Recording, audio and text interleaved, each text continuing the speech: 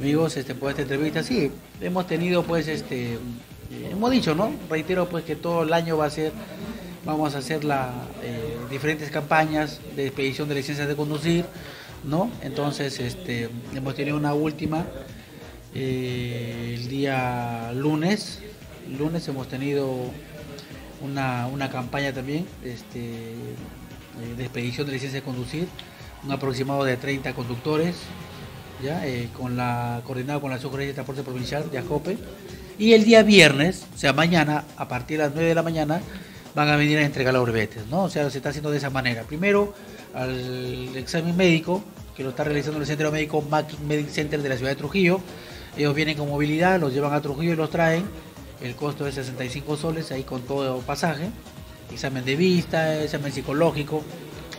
Y luego, pues, este, se coordina con ASCOPE, mandan personal, se traslada personal acá a la oficina dan sus exámenes correspondientes de regla de tránsito, ¿no? Y cobran los brevetes, ¿no? Y, ya para a dos tres días, en este caso el viernes, toda la mañana, ya vienen a entregar los brevetes a las personas que están actas, ¿no? Mira, por lo menos unos 15 a 20 días, ¿no? Este, lo importante es dar la facilidad a los amigos, pues, que, están trabajando en empresas, ¿no?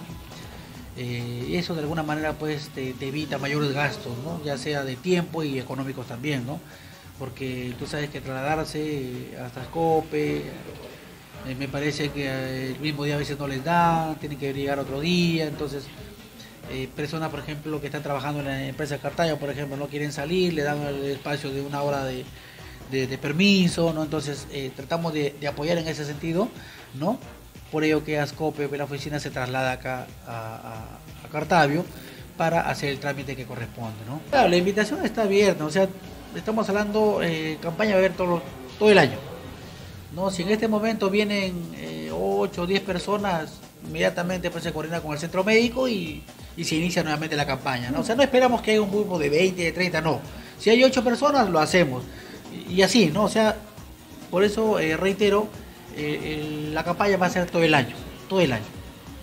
Todo el año. ¿Pueden acercarse aquí a la oficina de transporte? Sí, a la oficina de transporte, acá la oficina está abierta, ¿no? este, trayendo copia de su DNI y su número telefónico para poder hacer las coordinaciones respectivas. Desde las 8 de la mañana hasta las 13.45 de la tarde. ¿no?